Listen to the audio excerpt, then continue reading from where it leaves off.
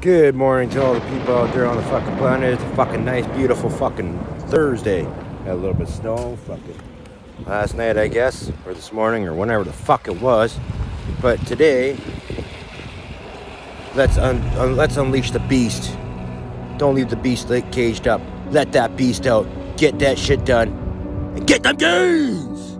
Cause it's throw the cookie down Thursday or throw down Thursday or whatever the fuck you want to call it, but it's a fine ass Thursday.